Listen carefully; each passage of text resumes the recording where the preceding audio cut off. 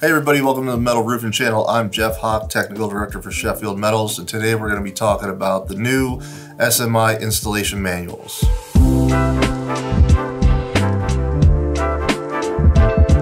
We ended up creating new installation manuals um, instead of the installation details we had before. The installation details we had were good. Um, they were all color coded, had all the bullet points. There were some things lacking in the beginning sections of it um, when it talked about storage, handling, hemming panels, seaming panels, things like that. So we wanted to make it a little bit more all-inclusive uh, for different things that you should see in an installation manual and not just installation details. They are not profile specific, so everything is over a substrate. So you have an installation manual for over wood, installation manual for over B-decking, B-decking with ISO, open framing. Uh, any panel that you would install on those different substrates are going to use these installation details. SMI 1.5 MS, SMI 1.5, uh, 1.75, they're all going to use the same ones. They're all pretty much set up the same way. All the beginning pages are the same except for maybe the table of contents. So we can go ahead and get into it and I'll show you an example of the wood substrate installation manual. Starts off, nice cover page, tells you what manual it is that you're looking at, tells you that it's for all the profiles. So general information talks about, you know, these are guidelines, this is what we recommend. Safety precautions, obviously you want to make sure you're safe on the job site. You want to follow all the OSHA safety precautions. Uh, you can't be too safe, so, you know, read through the safety precautions.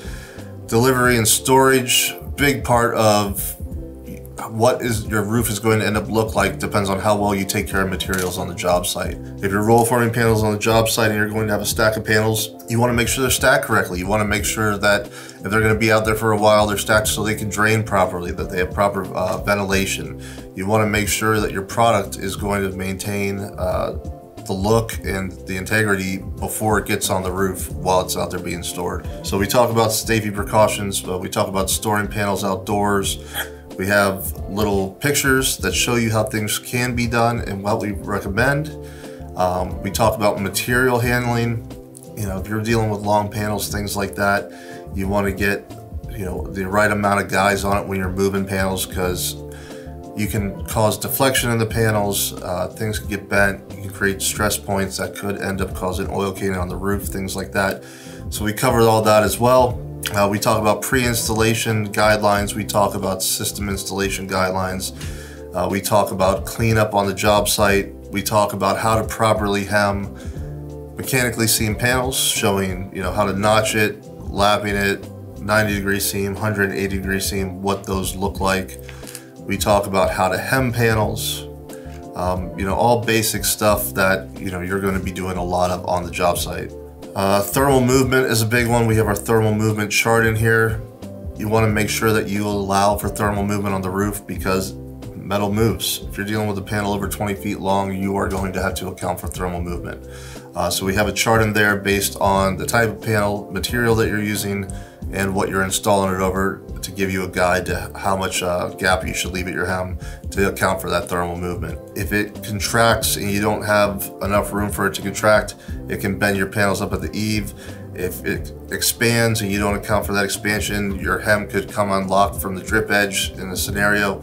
So you wanna make sure you account for that. One of the things, the main difference between the details is that we still have the color coded detail uh, with all the bullet points showing you where everything goes, but now we've also included instructions. Basically step by step how that detail should be installed. So it's not looking at a detail maybe that you're not familiar with, having to figure out, okay, well I gotta put, you know, the drying down first, then I have to put the drip edge, then I have to strip the drip edge in after I fasten it off, then I can put the panel down. You could literally read step one in this in, in this scenario, step one through step five, and learn how that detail goes together before you have to put it on. It might be really good for people that are just starting off, or might be newer to installations, or it might be good, you know, if you have a more complicated detail and you know you want to make sure that you get all the steps correct. That way you don't have to go back and redo things twice. You know, especially when you're using these uh, installation details on weather-tight warranty projects. Everybody on your crew should be all on the same page and know how everything should be installed per what the manufacturer is recommend recommending. I'm not going to go through all the details, but they're all set up exactly the same way. Some of them are pretty simple. You get into some of the details, uh, especially when it comes to uh, head walls, side walls, they get a little longer And then you get into things like uh, pipes and seams or curb details. Those are the ones that are going to be the longest. Uh, pitch transition detail, there's a lot going on in that detail, a lot of different steps. So we make sure that we account for all of them one by one in the proper sequence so you know how that detail should absolutely be installed. So those are the main changes that we made so far to the installation manuals. Uh, they're not just details anymore. It's a manual for how the roof should be installed per these details. It's information of, you know, basically what to do with the material from the time you get it to the forming of the panels, storing the panels, getting them on the roof, how to be safe while you're doing it and how to properly handle them and then you know step by step how to install them uh, once you get them up on the roof. So this was the main example of using the wood decking. I'll show you another example that we have for uh, panels over steel substrates with ISO. Again, the uh, beginning of the manual is all going to be pretty much the same. Table of contents, safety precautions, storage handling, things like that. Um, get down into the details themselves. Again, they're all color coded. They all have the bullet points in them. And then the, again, they all go through the sequence step by step of how that detail should be installed. That is one of the major differences between these manuals and the old installation details we had. The installation details we had before were basically just the picture. And, and unless you were familiar with that detail, you might not know where to start or you might have to, you know, spend more time looking at it and trying to figure out what to do than you should.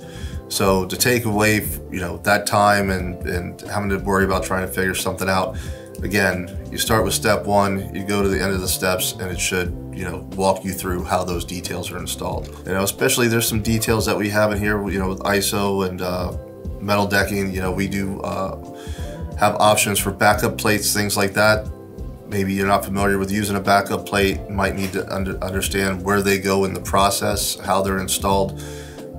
Having the steps in there walks you through how to do it and you know make sure that you don't miss any steps along the way.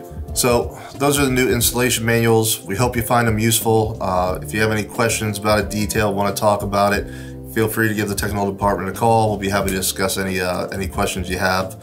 Um, hope you enjoyed the video and hope you find these manuals useful.